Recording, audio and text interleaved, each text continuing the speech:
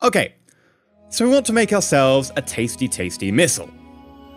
Right, what do we have to do? Well, unfortunately, this screen is a little bit on the weird side. Now, I, I have done a little bit of a boo-boo. I started making some missiles and then screwed up, and I started using the word prime instead of the word square, and it was it was horrific. I got my squared and prime numbers mixed up. I made some okay missiles, but generally I think I can improve. So I'm going to record this bit, which again, which is why you might be like, well, what's just happened? Why is the screen flickered? Or whatever it was that I cut. Um, that'd be because this is me with more knowledge doing something. And which is why if you've noticed the date may be different, I don't know, I think I went ahead some days as I did some tech. The tech, of course, being the, uh, please research me, an engine or whatever. It doesn't matter, nothing really fun happened. Uh, so, this is the missile design thing. So we need to design a missile here. It's got MSP, which is missile size points. Generally, the smallest missile missile you can get is like six, which is the smallest like anti-ship missile that's going to be any good. Um, we've got engine types, etc. These are two engines I've already designed for missiles. Ignore them. We're probably going to have to do a different one. You have warhead strength, fuel capacity, agility, and reactor. Now, warhead strength for one missile size, we've got a strength of four, which is the current tech we've got. So, how do you design a missile? Well, honestly, my advice is there is a lovely Excel document on the forum. A lovely Excel document, which I have on my screen. Let's bring it down here. There we go. This is a lovely Excel document. And you might be like, well, now we're playing Excel. Yes. Uh, yes, I'm sorry. Uh, but this is going to be something very important. We're going to explain about damage layout. So as I mentioned previously, you've got like your armor, and then you've you know you've got to get further into it. So multiple layers of armor. If you've got like you know this is two to seven, so that's like yeah, five layers of armor. Well, sorry, six because you're including two. Yeah, so that's six layers of armor, whatever. You would see that oh, this one manages to get through with 49 points of damage. However, if you just keep peppering them with these, eventually it'll eat away at the armor. So you want something with the maximum amount of death. So generally you like squared numbers. So two, uh, sorry, four, nine, 16, 25, 36, 49, uh, 64, 81, 100. These are the numbers you like, 121, uh, because they allow the maximum amount of depth. Now, if we only had, say, a 8 damage missile instead of a 9, it would only go to here. So it would do 1, 2, 3, uh, 4, because that is, of course, a square. So 4 goes in, 5, 6, 7, 8, 9, square goes in again, so you can get the maximum amount of depth. So ideally, you want to make missiles with square numbers. So, for our missile, we want to do 4 or 9 points of damage. I'm not going to go for quite for the gigantic missiles yet. I'd like to go for just a, a smallish missile to begin with. Now, the reason I'm going for smallish missiles, I want a 6 size anti ship missile, is because I think that's the smallest you can get on a launcher that's like a general missile. I'm not sure. But it's also the minimum size for the detection. Um, it is basically saying, right, this is the minimum you can be and have the minimum chance of detecting me. You can have make smaller missiles, but they also share the same chance of detection. So the smaller you can have the missile, the lower the chance of detection, which means the enemy detect it later, which means that their defenses kick in later. They can also, you know, not pick up so much data about you or whatever. Not as important against the AI. Uh, so I will try and make them a size 6. So we probably want to get this Excel document open, and we want to go for total missile size points. I would like that to be 6. Desired damage. Let's try and get a 9. We can always go down to 4 if need be. Um, so suddenly, we have, this is our tech, this is uh, our engine tech, this is our fuel thing, this is our power modifier, um, this is our damage tech. Okay, so I think by just putting these two numbers in, we now have a load of information. So, against target moving at 5 kilometers per second, we can make a missile that has a 62.4% chance of hitting it, and a range of 112 uh, million kilometers, so that is about three times the moon's orbit, or maybe two and a half times the moon orbit, and it will travel at a speed of 22,000 kilometers. So it should get there in under five seconds. That's good. Now we can make faster ones, but you will see that we start to lose a little bit of accuracy. Now I think the accuracy drop from here to here for that little bit of extra range might be worth it. Here to here, possibly. Here to here, maybe. Here to here, no, because we're starting to drop about 4.8%. Uh, three sorry. It's just not quite worth it for me. I think we'd probably want something along the lines of this. Now, if we wanted to go, you know, a bigger missile, we can do. But I don't think we need to worry particularly about this. Now, the reason that I'm saying this Excel document is amazing is because it gives you stats that you need to put into your missiles to make them exactly like you want them. Seriously. So we need to pick what we want. Um, if they're, like, worst case scenario, if we get an enemy that is moving at 10,000 meters per second at this point in the game, probably want an above 30% chance to hit them. Yeah, we're going to go over 124 million kilometer range. So we're going to go with this one. So I'm going to select this, and we are going to start reading off some of the stats. So the one things we need to know are the fuel, the agility, and importantly, the engine MSP. This is really important. 3.16. So I'm going to put this on a different screen, and I would like to go to make some technologies. So, boop. I would like a where is it? Where is it? Where is it? Missile engine. I like a magnetoplasma drive with a fuel consumption of three times. Remember, 300%, which is double our technology because missiles get to go double the speed of your technology. Your technology is 1.5 we've got at the moment for engine power. Cool, we can go 300 with, an with a missile engine because missile engines are designed to fire once and never be fired again, whereas actual warships are like, yeah, our engine needs to keep working for years. Missiles are like, yeah, it needs to work for like five seconds which is why missiles can be like ridiculously powerful because they burn themselves out, which is fine. Uh, fuel consumption is fine. Here we go. MSP, missile size points. If I check what we had, we wanted a missile size point of 3.16. Which means over half of our six missile size point missile is made of missile. Like this thing is like about 55% like engine. Um, I know I just said missile made of missile. That's a little bit on the obvious side. Uh, I just read off the number. It was 316. Yes. Oh, God. Look back at the start. 316, 316, 316. We will have you. Three. Oh, God. It's still scrolling. It's still. like, stop it. Ah, no. Take it away. Right. Start from scratch. Just don't scroll too much. Resist the urge. 316. Here it comes. Bingo. So because we want it a bit, you know, pretty good engine, the fuel consumption is 1.37 times, whatever, I don't care.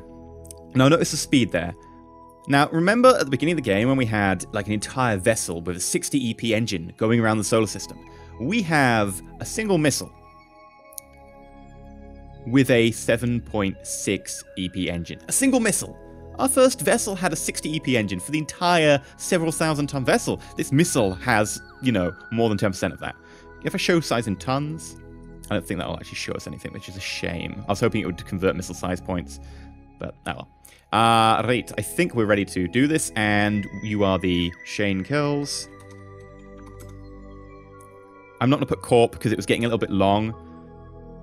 So, Shane Kills, Magnetoplasma Drive create. Close. And if we pull open the research, we should see that there, no, it'll be under propulsion, won't it? Shane kills, there we go.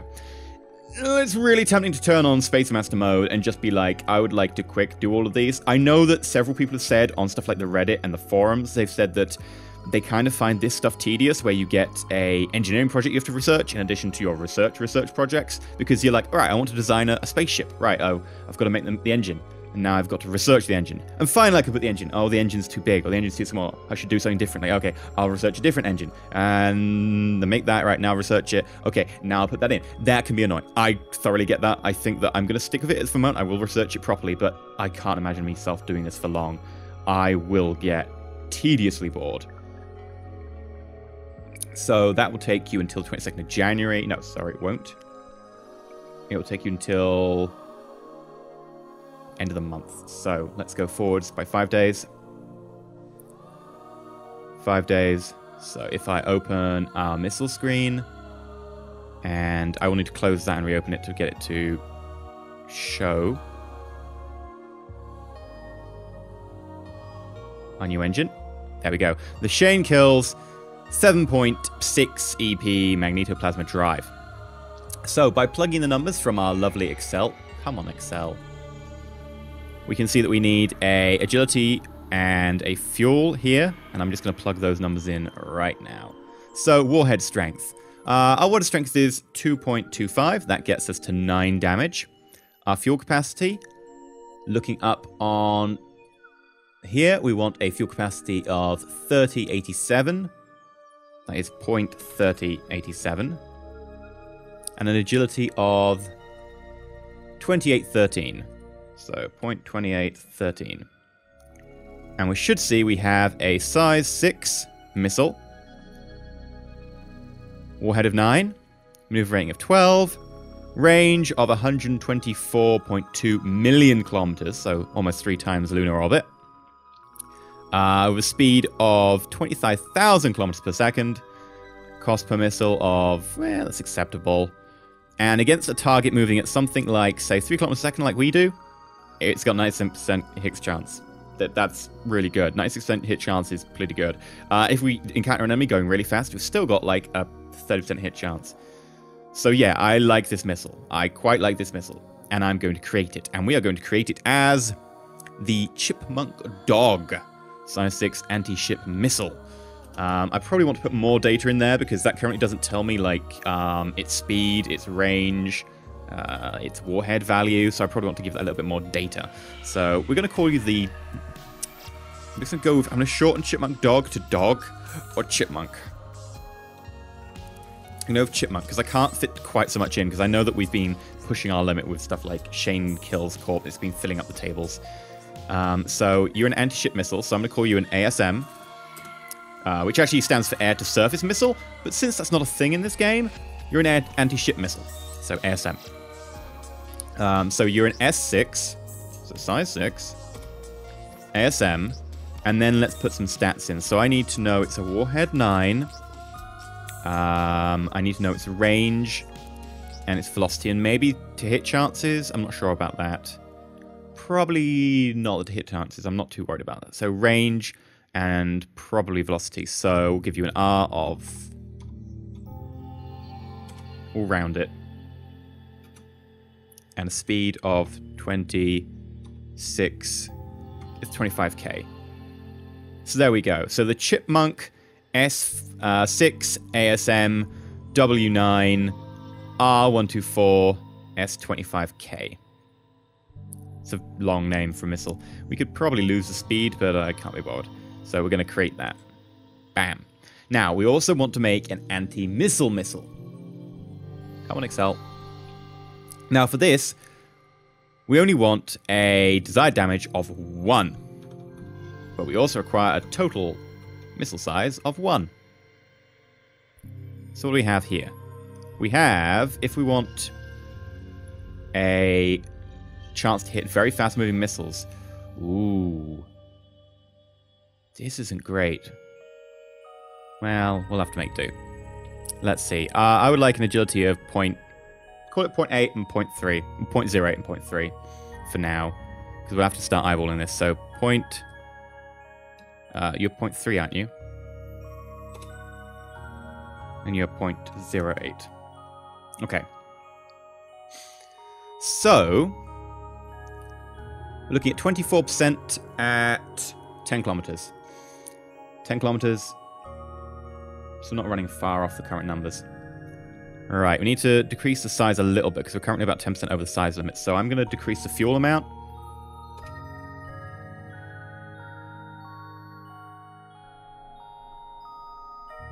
Which is actually fine. Though this will impact uh, the speed later on. Uh, if I decrease the fuel to like we're really shortening the range, but I like that shorter range.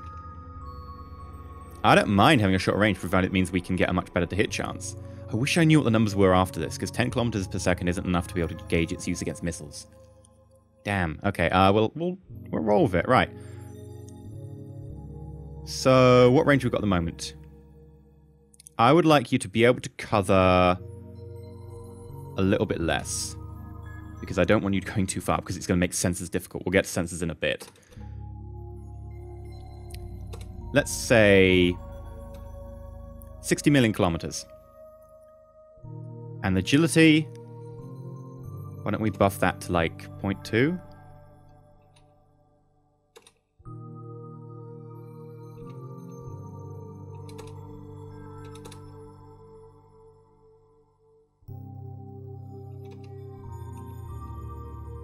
So we're a little bit short there. We can go bigger. We can go bigger still. 36% chance. Aha! We found a tipping point. Okay. And we can increase the fuel amount ever so slightly.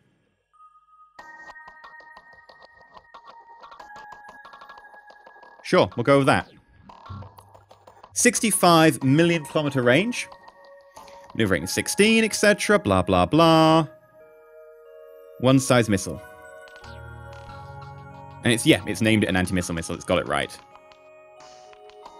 Okay. We can make this.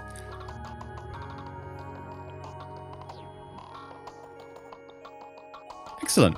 Right, you are going to be the...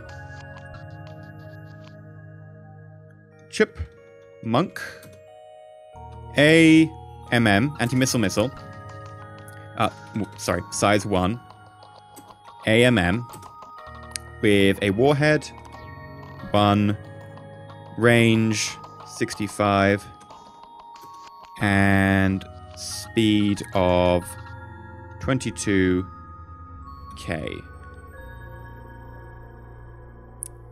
Thousand kilometers per second, which is annoying because it's uh, thousand, thousand. So it should be just million meters, but whatever. And we'll create this. So we're going to have to research this as well. But I do fancy having a ridiculously large, slightly longer range missile. So, if we want to have a damage of 25. So let's say like a desired damage 25. Uh, missile size points. We're not going to be able to get it with a missile size point 1. That's fine. What if we were, say, 9 missile size points? We could but judging by the optimal for like high speed, etc., we wouldn't get that much range. What if we went for like a 12? Large missile. Okay, suddenly we're looking more feasible. I would choose to cut this in favor of more fuel, to have the range, the speed down here, and to have the fuel higher so it can get higher range going. But I still think that the engine is probably going to be the right amount. So we're going to start ballparking it now, because this is saying, right, if you want really fast missiles, this is what you do. I would like a slightly slower missile, but one that has a proper punch. But I think this may be a little bit too complex for our very first base. Two types of missile, one main missile and an anti-missile missile is probably fine. I don't want to start loading up with like an extra type of missile. So for now, we'll leave it as it is. We can close that. And I believe if we go to research, and if we look under uh, missiles, kinetic weapons. We should have the chipmunks here. Right. I would like you to um, do that. And then the chipmunk, I would like to queue.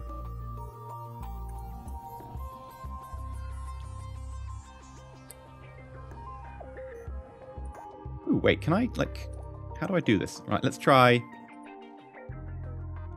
Right. Aha, right, so I've got Callum accepted. So if I click that, queue, Callum's just going to go straight onto that when done. Excellent. Right, how long will that take you? Five days. So if I do five days, we might get both if we're lucky. Researching Chipmunk completed.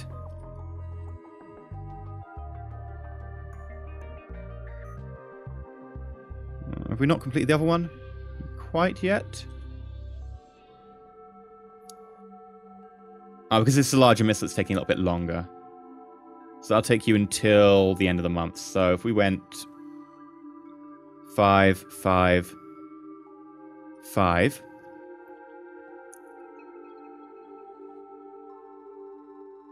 Yes, we've completed it. Sweet. So we now have two different types of missile. And I think this is where we're going to end today's episode. Now, the next job is going to be designing a sensor system to be able to detect and for that, we'll want to just get our active grav sensors like as high as possible. The problem is, unfortunately, Karen Gibson isn't skilled enough and still isn't skilled up. It's going to be annoying, but fine. Uh, 30 days time, we'll have that. So, 30 days, we should be able to start work on our PDC. And as you know, we need to then design that into a sensor, which we need to then research and then design our PDC. Ugh. But I've been see you enjoy. Please like, not subscribe, please consider subscribing. We're back with Aurora 4X shortly because I am addicted to this game. Now, before we just actually run away, let's do our regular checkup on Mars. 91% carbon dioxide. With a surface temperature of 31 degrees. We're getting there. We're getting there. We've already increased the temperature by 17 degrees. Global warming in action, guys. Global warming in action. I'm loving it. By the way, if we get the ice sheet to melt, we can then increase the albedo of the planet, the reflectiveness, because, you know, uh, sorry, it decreases the albedo reflectiveness, and thus the planet absorbs more light, and thus it will heat up suddenly. Um, so by decreasing the uh, ice sheets, you can cause a massive jump in temperature. So you could probably get it up from zero to about 20ish and make it really, really nice for people to live on. Like, they're happy living at minus four, just. But if we can get to 20, they'd be very pleased. Um, so I might just get to about zero, or just shy of, and then I'll add oxygen. And then when we've got enough oxygen, people should be happy to live there. Oh, this is working so well. I'm so pleased. Anyway, till next time, stay shiny.